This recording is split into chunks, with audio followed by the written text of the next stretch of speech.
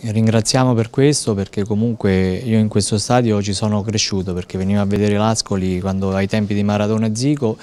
e avere questa eh, diciamo, riconoscenza nei confronti dell'entroterra per noi è importante. Per, eh, prima di tutto per, a livello psicologico e morale perché comunque dobbiamo risollevare la popolazione sotto questo aspetto l'aspetto economico poi ha anche una rilevanza notevole. Su questo noi siamo consapevoli che eh, dobbiamo comunque eh, riemergere mh, per quanto riguarda la ricostruzione ritornare a una vita normale e non abbiamo parole per ringraziare tutti voi, la società sportiva, la tifoseria e tutta la cittadinanza di Ascoli Piceno e dintorni. Noi vogliamo, siamo mondanari, quindi siamo tosti diciamo.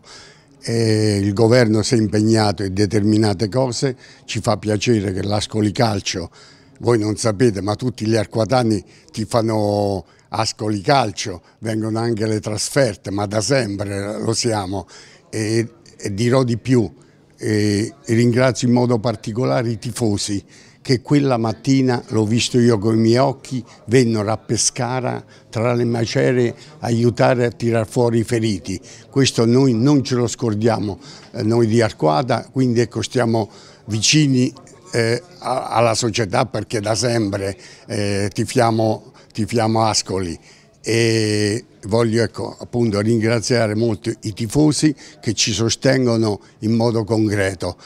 quindi è anche la società per cui ecco, per noi è motivo di orgoglio,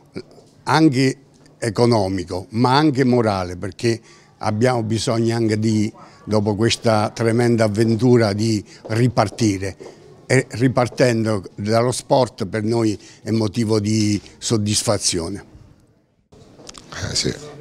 45 giorni fa stavamo parlando di altre cose, questa è la vita, però è chiaro che Ascoli è Ascoli per tanti motivi.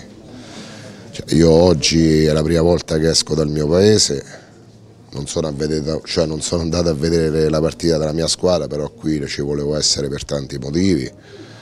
sia per la vicinanza che mi sta dimostrando la società, la tifoseria, ma soprattutto per l'affetto, per quei due anni che ho passato qui che fanno parte del mio cuore. La vita è così, io dico che solo chi cade si rialza, per cui questa qua è una fase importantissima, però ecco, io vi invito solo a non chiamarci terremotati ma sfrattati a tempo, perché chi è, chi è, chi è terremotato poi lo è per tutta la vita.